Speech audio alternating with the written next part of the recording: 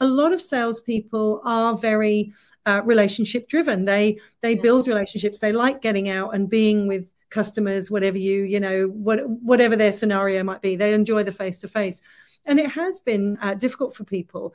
And yet, what's really interesting is you can still build a great relationship virtually if you are focusing on those.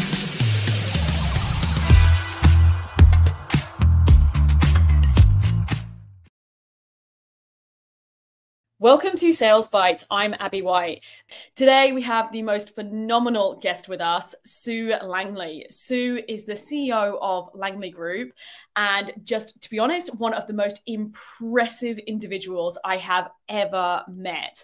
I have done what feels like pretty much all of Langley Group's courses because I am so in love with them and the work that they do.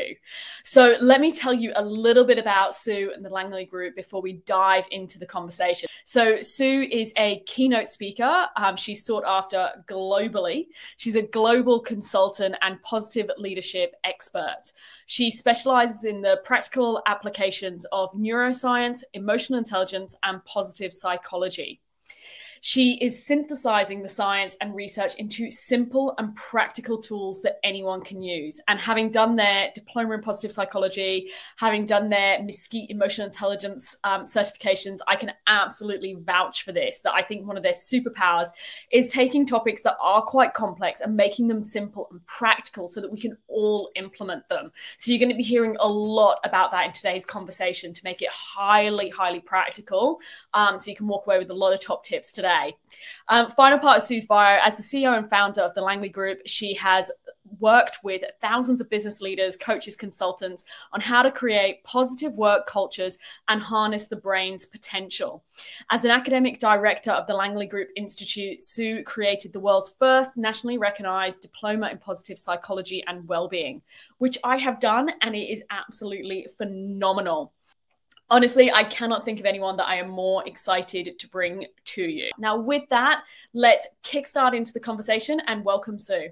So, I want to tap into that point around because I agree around well-being is no longer just obviously let's tick the box. You know, we said a couple positive things, we put some great quotes on the wall. I mean, I like the quotes on the wall, but, but it's kind of so much more than that now.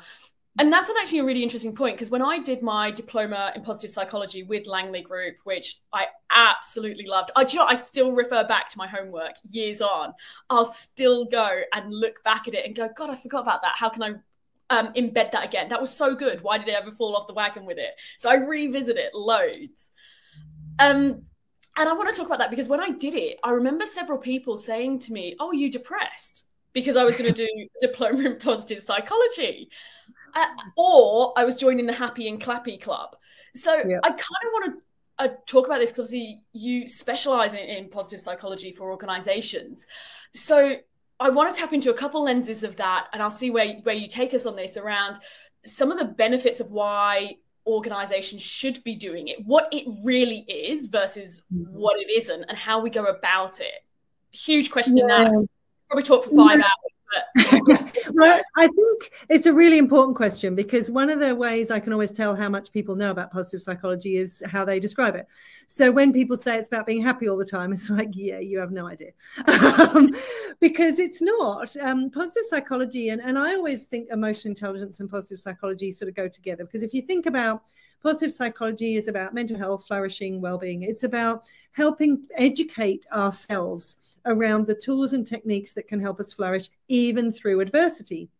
And this is where I think some people misunderstand it. They think it's about being happy all the time. They think it's about um, being joyous and using my strengths all the time and all, all is going well. I always ha- I've had this saying for many years: positive psychology, wonderful on the good day, essential on the bad because it's on the bad days, it's on the challenging days, we need these tools in our toolkit. So I think that is a really important thing is positive psychology is how do I put these tools in my toolkit to handle my emotions, to look after myself, to bring more engagement to what I do, to bring more meaning to what I do? So when I'm having a bad day, I've got the tools that I can deal with it. And we've seen this through COVID. People who are able to use those tools of high quality connections, of using their strengths, of practicing gratitude, they're still having bad days. They're still experiencing adversity, yet they're able to thrive and flourish. So I think that's really important for organizations to um, if you are going to do this, to teach it to people. You just said about the diploma and, and, your homework, if you like. One of the reasons that I love the diploma is because everybody has assignments to do. And in those assignments, you have to go and apply the science. And that's how we learn. And I think that's one of the challenges for organizations is if we're taking this more seriously, let's actually increase the education the learning and the practical application. It's all well and good going on a you know one hour webinar on some tools and strategies but if you don't actually practice them it's the kind of you know it do you do it? Many people go yeah i know that but if you're not doing it every day and to your point even if you do know it you sometimes fall off the wagon and stop doing it. So you need another kick up the bottom to remind ourselves. And and it can change lives when people actually learn this stuff and embed it. Um, i had a message over the weekend sorry just a personal example. Um, random message on saturday while i was having breakfast. I was in hobart with my parents. And um, over breakfast, I got a message saying, Hello, beautiful human being. Um, my father is my father's life is about to end, and thanks to you, I'm handling it.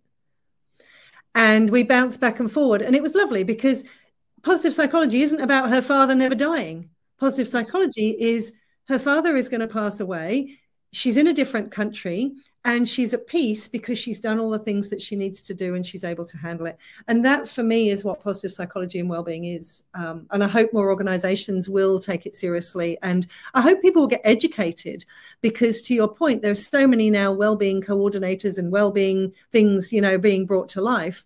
Um, and i would like to see people whether they've got a diploma through us or a master's through somewhere else actually having the qualifications to be able to bring that content and that information to life you know as humans we're not always the best with with change um, and so i kind of want to talk to you a little bit about that of your approach and, and sort of recommendations around how we approach and embrace change yeah, and I think it's a really interesting one because um, if you, I'll start with the sales aspect, if I may, because um, I always think I am terrible at selling. I don't, I don't sell. Um, and people go, Oh, but you're really good at it. I'm like, No, no, I'm not. What I am really good at is doing what I do really well that you want to buy me. Um, as in you want to buy what we do because yeah. we we do uh, we deliver a, a credible product a reliable product a good product if you like or service or whatever you want to call it so I think for me, that's the way I've always approached things. If I give my best in a situation and I genuinely am there because I really want people to um, feel the difference, whatever it is, whatever product you might be selling. I think it's really important that you have that sense of you are doing what you're doing for the other person. That's just me. I appreciate other people are maybe got competitive as a strength and they just want to hit a target. I don't know. So I think to your point then around the change, one of the things I have seen is a lot of salespeople are very uh, relationship driven. They they build relationships. They like getting out and being with customers, whatever you you know what whatever their scenario might be. They enjoy the face to face and it has been uh, difficult for people. And yet, what's really interesting is you can still build a great relationship virtually if you are focusing on those strengths of how do you build that relationship. And again, it's just adapting your scenario, if you like, your situation. And yet, we shouldn't be throwing out these skills and going, oh, I can't do face to face anymore well, no. And somebody, um, Robert Biswas-Diener, who uh, you know from the positive psychology realm, he and I were chatting early on in um, uh, COVID sort of hitting and everybody going virtual. And he actually said, he said, if you're a terrible teacher virtually, you're probably a terrible teacher face to face. And and I think that's probably a little bit harsh, but it's a bit like if you if you're really good at what you do, whether it's selling or facilitation or whatever you you can adapt your medium. You're still doing the same things. There's still a wonderful human being on the end of it that you're trying to build a relationship with. And guess what? From a sales perspective, if I trust you, I will buy from you. So I think we need to be careful that with the change, we don't assume everything has to change. We can still yeah. use some of these brilliant skills and strengths that we have. It's just adapting it to a different medium. And it worries me when I see things. Um, from a, a, news and a media perspective of you can't do this and this isn't working and you know zoom is bad and blah blah blah and we hear all this sort of stuff and uh, somebody actually posted today once again the um, research study from nearly two years ago now um, of your brain on four meetings on zoom And I just think this is hilarious that people are still posting this. There were 14 people involved in the study, not a huge number. They all had electrodes stuck on their head while they're doing Zoom. Well, who is going to have electrodes on their head when they're face to face? Nobody. So we've got no contrast of four meetings in a row on Zoom compared to four meetings in a row face to face. It's probably exactly the same, but nobody's prepared to sit with electrodes stuck all over them face to face. So, of course, they probably didn't have their camera on, which means our results are completely um, sort of influenced by different variables. So, I think we need to be careful of buying into the fact that this change that's happened is bad because the people that I've seen who've really been able to run with it have used this change to, to help them. One more thing on this I will mention is we know from a neuroscience perspective that some people are more tolerant to change than others, but generally speaking, the brain doesn't like uncertainty. So if you think about what the brain is, it's a prediction machine. It likes to predict things. So when things play out as you predict, it's great. The brain's happy, etc. Uh, when it plays out like it doesn't predict, it's like, Whoa. and we know that even simple things of change of I don't know, your email or something, all of a sudden they've moved the send button to a different spot. And you're like, ooh, because it hasn't predicted where it was meant to be. It predicted it in one place and it's moved. So, from that perspective, brains probably have a little bit of a challenge around change because it likes to predict. And yet again, if you think about how people um, have succeeded through different change, it's being curious, it's embracing, it's looking for ways of doing things better. It's saying, okay, well, how does this help me? And it is about adaptation. And again, if you look at some of the research, um, around stress, which is a big thing right now, the perception of stress completely changes your um, the neurotransmitters that you release, etc., in your brain. So if you think stress is good and should be embraced and could be helpful, you produce more of a particular chemical that helps you learn and increase memory retention. If you think stress is harmful and should be avoided, you produce less of that. Well, think about that for a moment. If I can flip my thinking and go, what can I learn from this? How can I use this, etc., I'm automatically then producing more chemicals that is enabling me to learn and grow and shift.